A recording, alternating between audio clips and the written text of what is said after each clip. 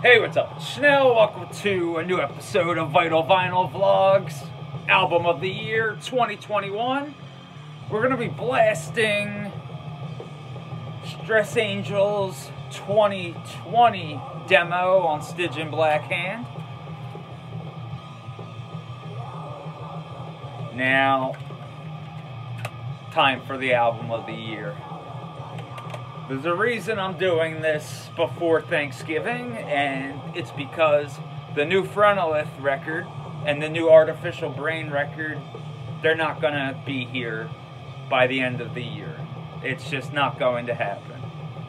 So, let's do this now because I'm sure some really, like the new Stormkeep, if I can get my hands on it, you know, and it is what I think it's going to be, then yeah, you know, I might have to do a re-upped album of the year video. But as of right now, congratulations to Stress Angel, bursting churches on Stygian Black Hand. Now, I actually don't remember off the top of my head, but was this my demo of the year last year? I know this made my demo list last year because I was blown away by this demo. Because Stress Angel plays the type of death metal I really fucking love. And that's the ancient, ripping, evil variety. So, I'll show you the cosmetics here real quick because it's just very simple but at the same time, I just love this fucking band. Everything about them is just like amazing. Riffs for days, killer production. Like, seriously, it's ridiculous. Fred Estby. Fred kills it regardless. Like, I really wish we got a new full length from Impure this year, but like this is pretty close. Like, I mean, just with the production and stuff from Fred. But every song on here is just grade A, top shelf, fucking ripping death. And to me, like, again, that's all you really need and hails to fucking Hank S. Blackyard also, like super sick guy. Um, Electric Assault Records and whatnot, like seriously, really awesome label also. There's so much good shit. Like I got my name right there. And that's not why this made my album of the year list, but it's kind of cool seeing my name on my legit album of the year. Like, cause that demo, like, I really pushed this. Like, hey, this fucking rules. And I'm glad, you know, people listened. Because I'm pretty sure their record release show for this was with, like, Sanguisugabogg and stuff.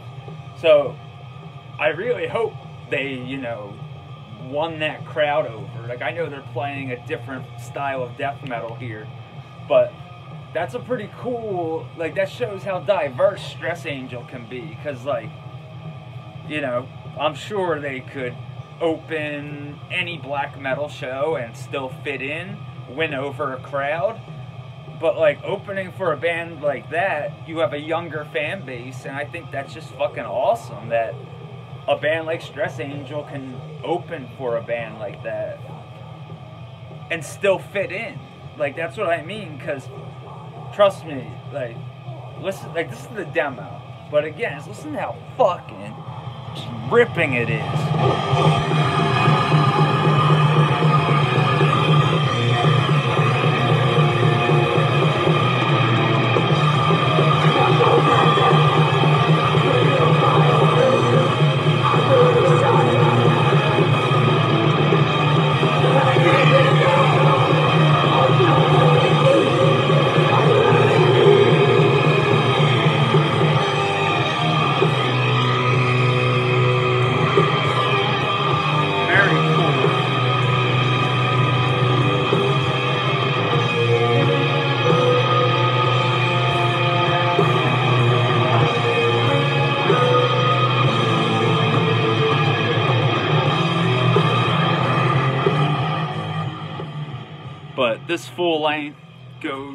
Extra mile. Like the demo, like I said, you know, it really fucking hit home for me.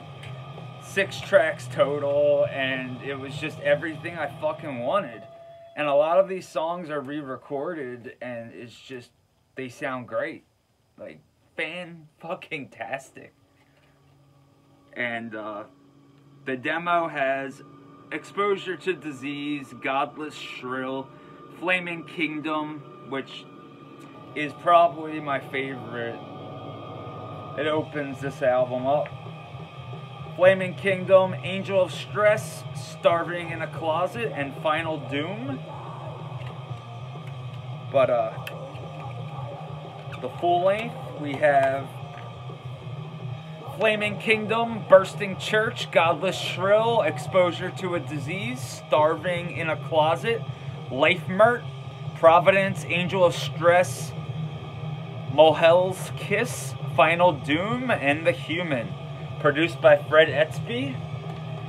Fred used to be in a band you might know called Dismember. Yeah.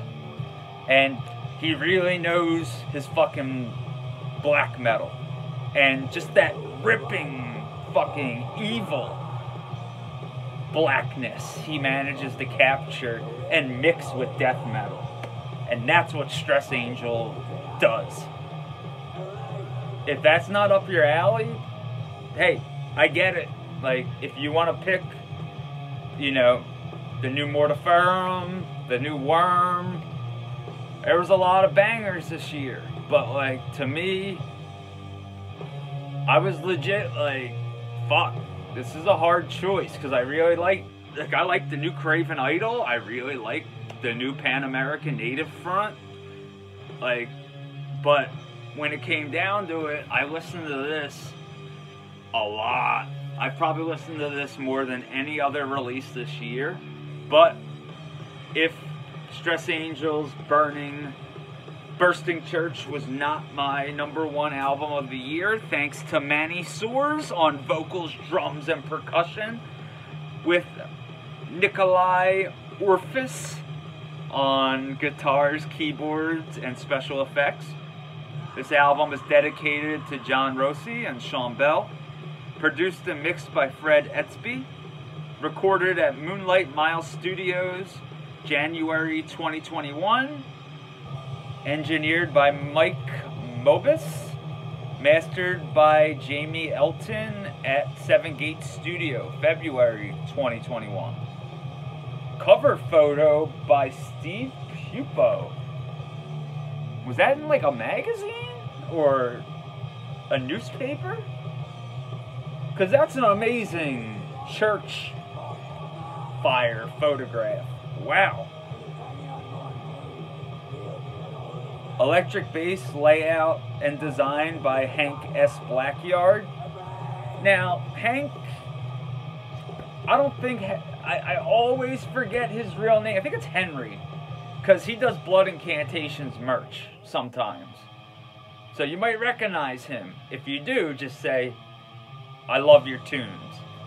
Because he plays in a couple of, I don't want to spoil like I'm sorry if I spoiled that, but he plays in a few bands that are related and I love every project he's fucking in. I mean, obviously there's a big one. If you know me personally, you know how much I love this fucking band that he's in.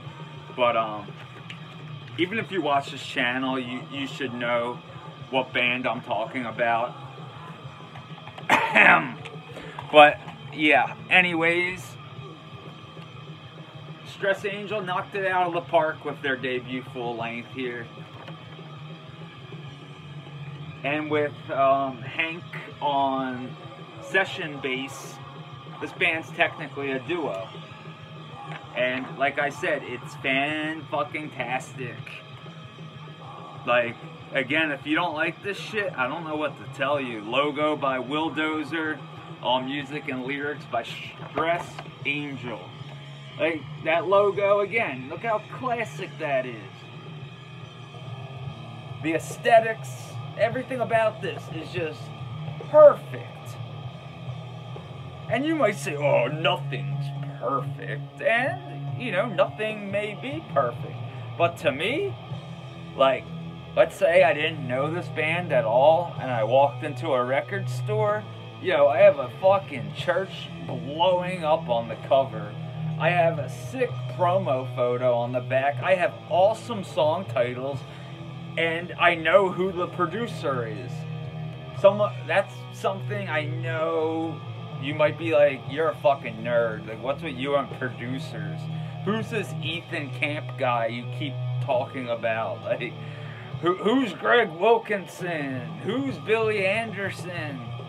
These are things you need to know.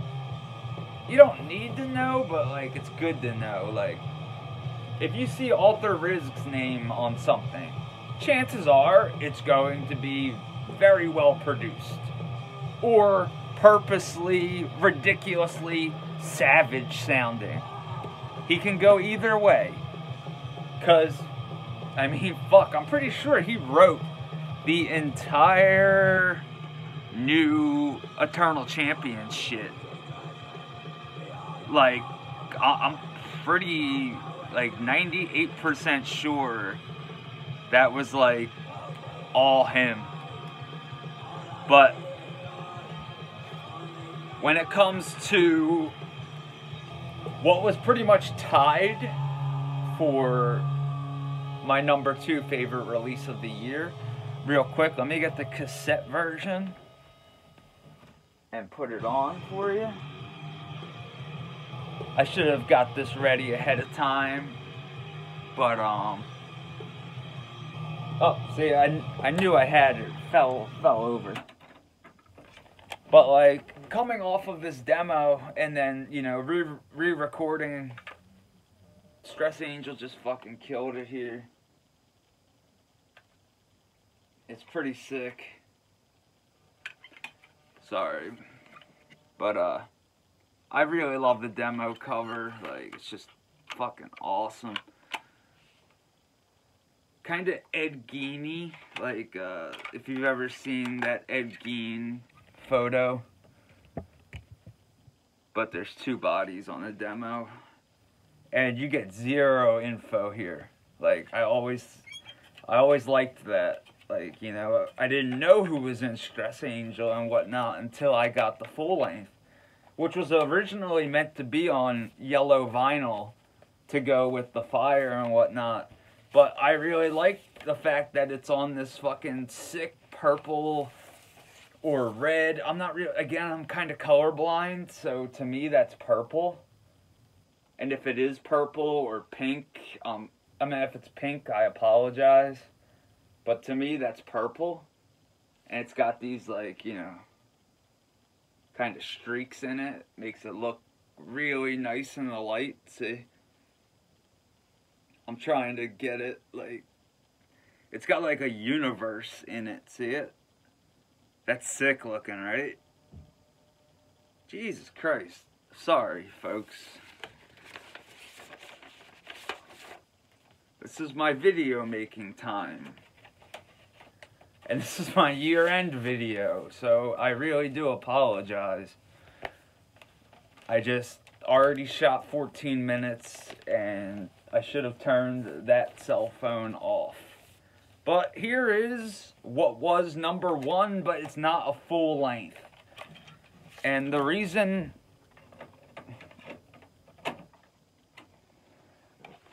I'm even bringing this release up is because it's so good. And again, I didn't hear a single person mention this.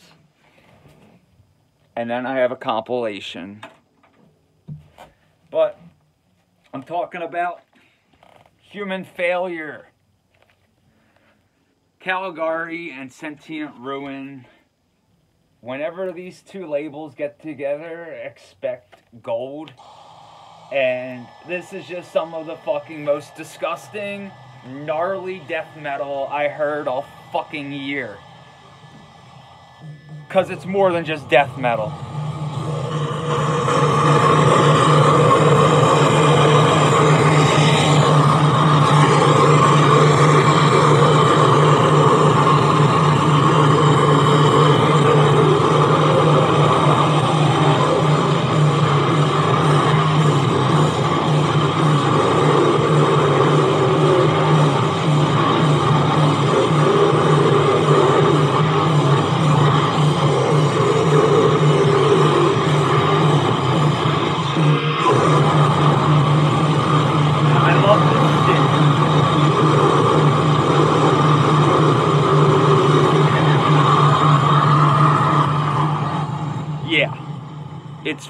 Insane. But it is an EP. So the 10 inch is great. I just have plain black vinyl. I think this comes on bone white also, but it might be sold out. If it's sold out, I apologize, but holy fuck, this is so good. Like, if you like, you know, death metal that thinks outside of the box and noise, oh, yeah. That's what I mean, like, this, this was, like, my release of the year for a very long time and I knew it wasn't a full length, and I kept waiting. I was like, fuck, there has to be a full length this year that like really fucking kicks ass. And there, there's a couple real good ones, but this is my shit. Like, you know, this is really like the stuff I like. And American one man monstrosity human failure debuts with its first ever offering. So this is like a demo then even? Fuck. A mangled and gnarled disfiguration of raw death metal, raw punk, and harsh noise spewed from the outer limits of complete nihilism and inhumanity. Ridiculous. I don't have my reissue yet of the year. I'm going to do a whole video on the reissue of the year because this was the year of the reissue. And thank you to every single label that reissued something gnarly. Like when it comes to demos, like oh, again, I have a I have a list. Here, I only have legit three releases to go over with you folks. And this is for vinyl, by the way. I am going to do cassette full lengths also, but this is just in general compilation of the year also. I'm just doing it in this video because this also goes along here. And that is Sentient Ruin. The cassette should be arriving tomorrow, I think. Bestial Putrefaction, Eternal Ripping Chaos. Bestial Gore. Holy fuck this, again, this is my shit. This is so fucking gnarly and insane. You just need to hear how fucking sick this is. And you get two releases on here, and it's just amazing. Eternal flesh ripping chaos and gore drenched barbarism. Like, I really like how they give you the original artwork. Sickening cover. I'll do it in the split of the year too, because we're at 20 minutes. Ah, we'll hold off on that. But I love, love, love. This comes on yellow vinyl also. But this is one of those releases like you need. I feel like you need it on black. I also have yet to hear the entire new Antichrist Siege Machine, so that's why you're not seeing that here. But I'm sure I would have loved it. But Bestial Putrefaction, 12 inch compilation of Bestial Putrefaction's first two demos a horrifying 30 minute apocalypse of total bestial gore slash war noise, barbarism, and inhumanity for fans of Revenge, Regurgitate, Carcass, Impetigo, Death Worship, and Pissgrave. Yeah. Insane. Fucking insane. Bestial Putrefaction human failure and album of the year. Congratulations to Stress Angel with Bursting Church. Stygian Black Hand. Fuck yeah. Ripping, ancient sounding American death metal. Done absolutely magnificently riffs, vocals, drums, everything. So good. And next video, I'll go over split of the year, demo of the year, and all that stuff. So, the one demo I had picked out for demo of the year, I do not have a physical copy of, so that cannot make the list, sadly. I do apologize. But, as always, thanks for watching, you fucking rule. Listen to Stress Angel, listen to Bestial Putrefaction, listen to Human Failure, and enjoy. Thanks for watching. You fucking rule. Hails.